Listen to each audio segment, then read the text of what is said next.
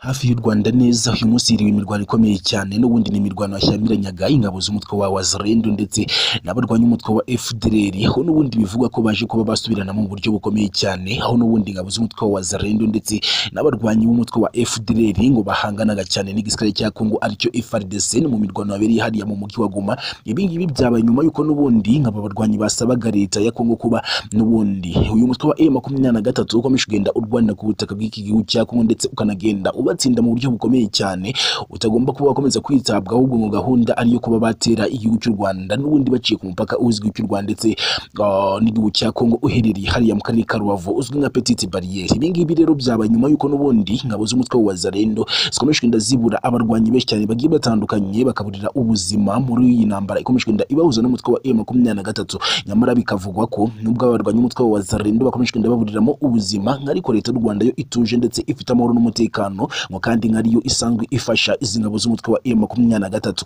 nanone byaje gutera ikibazo gikomeye cyane cyangwa se umujinya ukomeye cyane. Nyuma y'uko n'ubundi mutwe wa M23 ukomeje kugenda wigarura tumwe mu duce tugiye dutandukanye. Tw'iki gihugu cya Kongo aho kugeza kuri ubu ngubu uyu mutwe wa M23 bivugwa ko n'ubundi umaze kuba wabambura intwaro zigiye zitandukanye. Ni mu gihe ku ruhande rw'ingabo z'igihugu cya Kongo FARDC zo bivugwa ko umutwe wa M23 wamaze kuba wabambura ibimodoka by'intambara ndetse ukanabambura drone y'intambara imwe ndetse ikanagenda ifata abakomando bakomeye cyane b'ingabo z'umutwe wa M23 ibi ngibi byatumye uyu munsi mu mujyi wa Goma hirirwa imirwano ikomeye cyane urusaku rw'amasasu aremereye ku buryo n'ubundi abaturage bo batabashije kubyihanganira kuko abaturage bo batangiye guhunga mu buryo bukomeye cyane bitewe n'ibyo bakomeshwe ndababona umutwe wa FDLR usanga ufashwa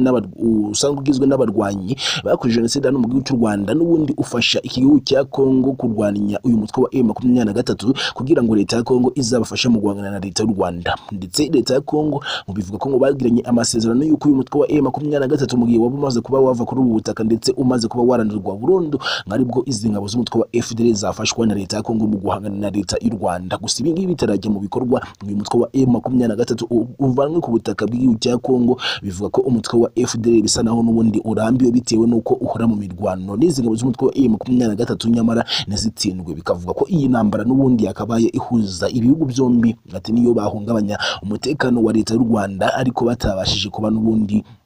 bahangana n'umutwe wa M23 n'ubundi ku butaka bw'igihugu cya Kongo na yo ikomeza kugenda inabambura zimwe mu ntwaro zigiye zitandukanye. Umutwe wa M23 wo ibingibi urabyumva ndetse ugaseka cyane ndetse ukaninumira. Ukavuga ko barimo kugenda bavuga amagambo menshi cyane nyamara batarabona. Bitewe n'uko umutwe wa M23 hari operasiyo imwe karahabutaka uri gutegura kugira ngo ubashe kuba wakora muri iki gihugu cya Kongo maze abari inyuma ya Perezida Felix Antoine Tshisekedi bose babashe kuba bagwa hasi batewe bitewe n'agahinda bazaba bagize umutwe wa M23 bivugwa ko gahunda ikaze cyangwa se umugambi wabo bafite kuri ubu ngubu ari uko baba bakigarurira. Uyu mugi wagomba bakabasha kuba bawukaba ndetse bakawukaba nta mirwano na busa ibayeho. Ni mu umutwe wa M23 wakomeje kugenda utangaza ko rwose kagace cyangwa se uyu mugi wa Goma utuwe n'abaturage basaga ibihumbi bibiri. Mu bityo mu gihe cyose habiramo imirwano bikaba byatuma n'ubundi ubusugire ndetse n'ibikorwa remezo bigiye bitandukanye bibarizwa muri uyu mugi wa Goma byakwangirika bitewe n'uko ngo leta ya Kongo yo idahwema kuba n'ubundi yarasa urufa rw'amasasu ahantu hose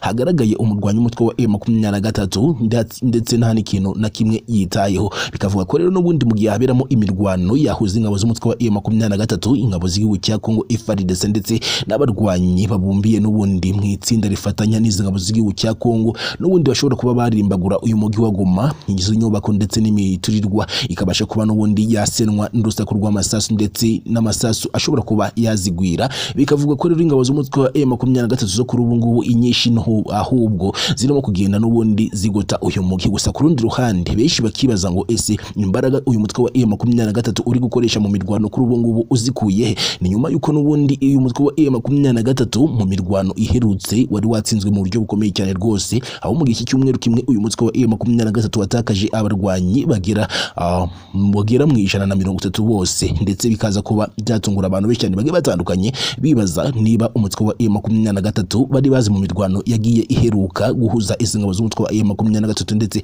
n'ingabo z'igihugu cya Kongo FARDC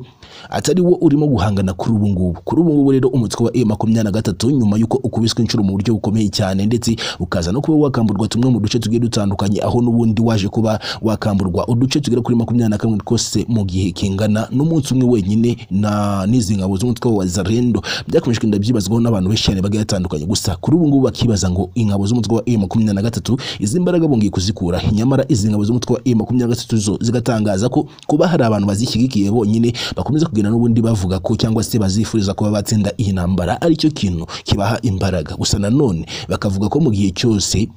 Oh, mu gihe cyose bakomeje kugenda n'ubundi babona ko bari kurwanira ukuri batagomba n'ubundi kuba babura imbaraga bagomba kuba bagwanira kuko igihe cyose ngo kuri kuratsinda. Ariyo mpamvu kugeza kuri ubu ngubu ingabo z'umutwe wa M23 bivugwa ko zikomeje kugenda zihangana mu buryo bukomeye cyane kugira ngo harebwe uburyo wabasha kuba wagira gutya ukabasha kuba wakigarurira uyu mugi wa Goma ndetse leta ya Kongo itashyira mu bikorwa amasezerano. Bagiranye n'umutwe wa M23 ngo bikabasha kuba byaba ngombwa ko rero uyu mutwe wa M23 ubasha kuba wakaba iki gihugu cyose cya Kongo ukabasha kuba wagira gutya n'ubundi ukakiyobora. Ni byinshi bikomeshwe ndabivugwa perezida Felix Antoine Tshisekedi ahugiwe mu guhiga imitwe yitwaje intwaro abacancuro mu bihugu bigiye bitandukanye kugira ngo arebe ko baza kuba bamwamba cyangwa se bamufasha mu guhangana n'umutwe wa M23 n'ubundi ukomeje kugenda uba ah, ikibazo gikomeye cyane ku butaka bw'igihugu cya Kongo aho ukomeje kugenda n'ubundi urwana mu ntambara zidasanzwe ndetse ukerekana ko ufite igisirikare gikomeye kandi kihagije mu bya gisirikare n'imyitozo ikomeye cyane